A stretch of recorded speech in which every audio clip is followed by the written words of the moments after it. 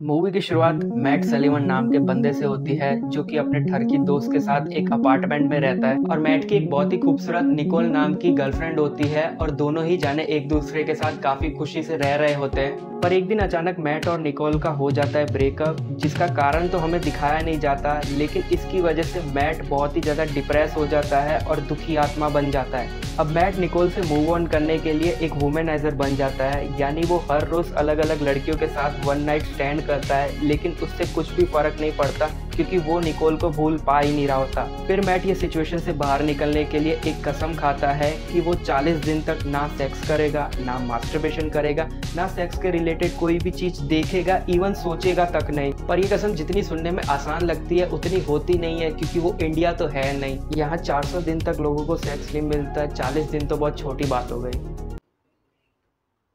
खैर, हमें फ़िल्म में ऐसी ऐसी सिचुएशनें क्रिएट करके दिखाई जाती है कि मैट को अपनी कसम पूरा करने में उतनी दिक्कतें और परेशानियाँ आती है जितनी आपको अपने पप्पा को गोवा के ट्रिप के पैसे मांगने में आती है। अब मैट को कैसी कैसी परेशानियाँ आती है, वो उनसे बचने के लिए क्या क्या हदें पार करता है और एंड तक क्या वो निकोल से मूव ऑन करके एक अच्छा रिस्पेक्टेड जेंटलमैन बन पाता है?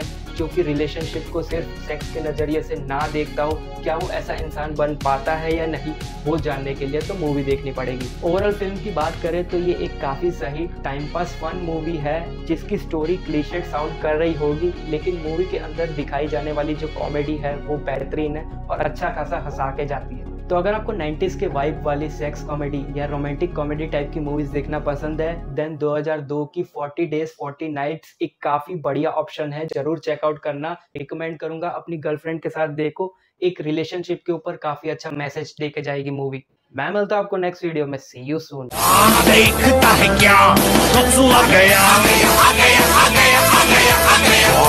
देखता है क्या?